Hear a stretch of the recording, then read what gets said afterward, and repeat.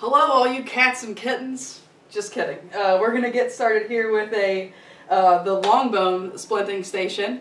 Um, so for the long bone splinting station, you're gonna be asked to splint a long bone. So it'll be a lower leg injury, like a tibia fibula fracture. Um, and so uh, every splinting station follows the same order.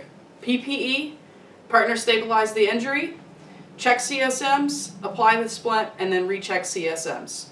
You'll notice this pattern also like with backboard and KED. PPE, partner holds C-spine, which is stabilizing the injury. We, in that case, we check uh, CSMs in all four extremities, and then we um, apply the splint, and then we recheck CSMs. So uh, starting this station now, I have my PPE on. I'm going to have my partner stabilize the leg. They will place their hand above and below the injury site. I will now uh, check CSMs just in the injured extremity. So I will feel for a pedal pulse. I will ask the patient to wiggle their toes. And which toe am I grabbing?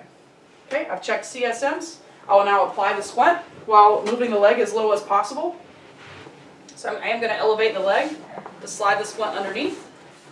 I want to be sure that I'm securing the ankle and the uh, knee, since that is the joint above and below the injury. Have my splint applied.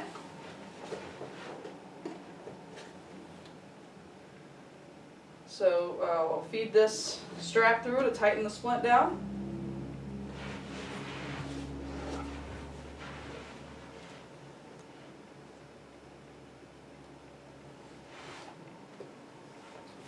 Okay. So once we get that splint nice and snug, we now want to come back and recheck CSMs on the limb. So I'll have to reach down in here to check for a pulse. Can feel a pulse. Can you wiggle your toes? And which toe am I grabbing? And that's the duration of the station.